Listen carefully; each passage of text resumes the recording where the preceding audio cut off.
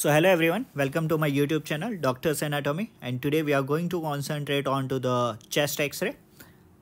So let us understand how to examine the chest x-ray. So the one thing that you can visualize in the chest x-ray is the respiratory systems organ. So let us first focus on to the what are the respiratory part that you can visualize over here. And the first part that you can visualize over here is the lung field. So I'm going to demarcate the lung field over here. So this is the right lung and this is the territory of the right lung. Another one that you can visualize onto the left side. So this is the left lung field.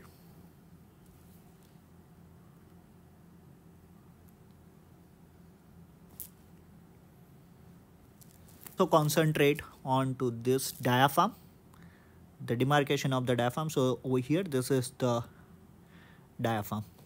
So this is the right dome of the diaphragm and this is one this one is the left dome of the diaphragm. This is right and this is left. If you can concentrate over here and if i'll draw the straight axis over here you can see that my right dome is onto the higher side as compared to the left dome. So that is pretty much normal. If you find any elevation of the left dome, you need to suspect there should be some pathology present inside the chest.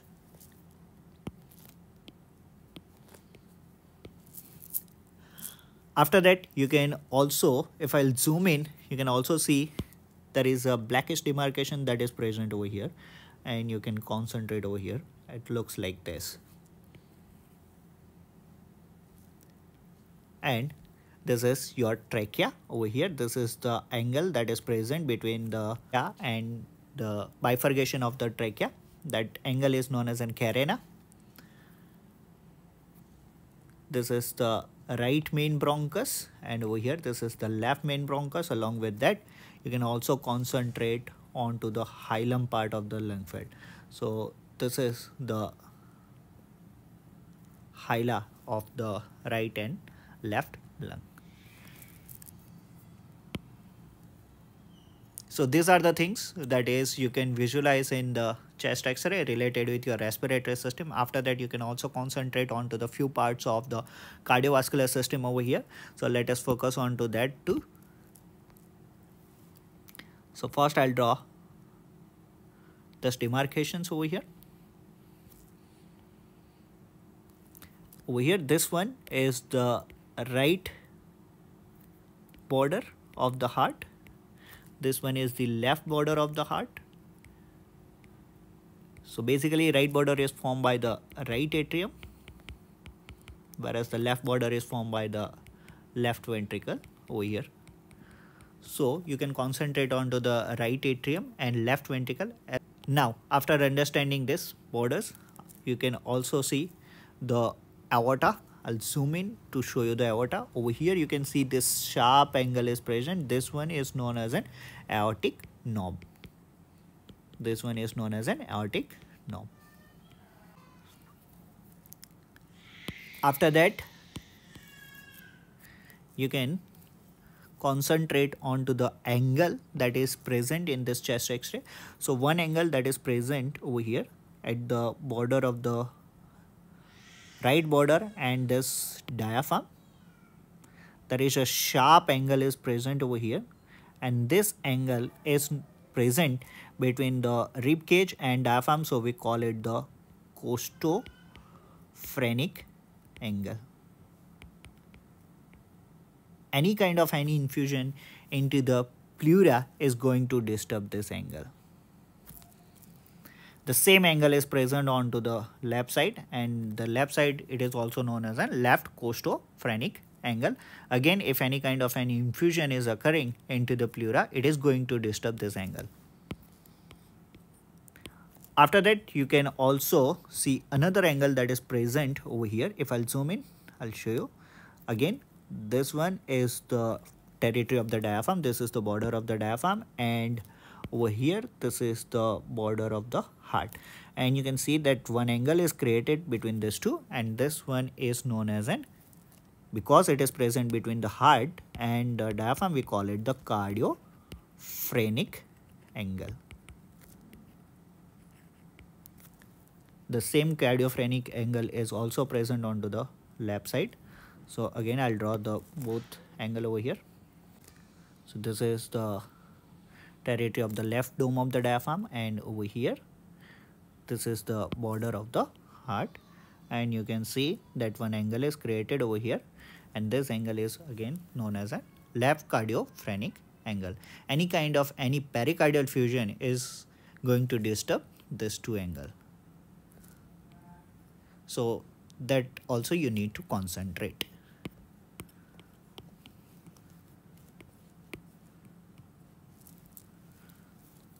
now we are going to concentrate what are the chest x-ray of the COPD patient will come up with. So over here what we are going to do we are going to compare the left side chest x-ray with the right side chest x-ray and we are going to visualize what are the difference that we can find. So the first difference that is pretty much noticeable over here is the diaphragm. Let's see the diaphragm over here. So if you can see this is the right dome of the diaphragm and this is the left dome of the diaphragm that is present in this chest x-ray. Whereas when we are comparing the same boundary of the diaphragm over here you will not find any of the hump over here and it is pretty much flattened. So this one is one of the classical symptoms of the COPD patient. They have the flattening of diaphragm. This is known as a flattening of diaphragm.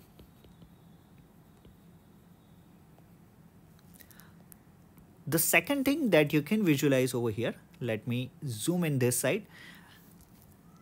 First, we are going to find out the number of ribs over here. So if I'll zoom in, you can see that this is the first rib over here. So this is my first rib this one is the second okay this one is the third fourth fifth sixth seventh eighth ninth okay and 10th so you can see up to the 10th there is a ribs is present over here. If I'll zoom in over here and if I'll count on this sides okay this is my first rib over here. This is my first rib. You can see this one. So this is my first rib over here. It will go up like this. Okay. Then this is my second third fourth fifth sixth seventh eighth ninth tenth and eleventh. So you can understand that on the, the left side chest x-ray we can only measure the uh, ribs up to the 10th whereas over here we can measure the ribs up to the 11th and this is suggests that our lung field is hyperly inflated. That means there should be some sort of air trap inside my lung field. That's why my lungs is getting hyperly inflated. And that is again a classical symptom of the COPD. Hyper inflated lung field.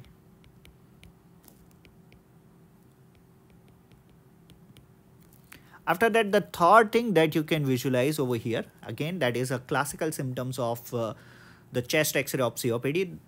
Let me show you that too over here. Now, what I'm going to do, I'm going to again flow, uh, draw the demarcation of the heart over here.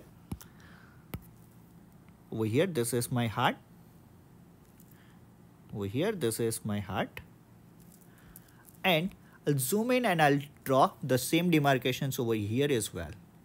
And you can see the heart looks like a tube over here.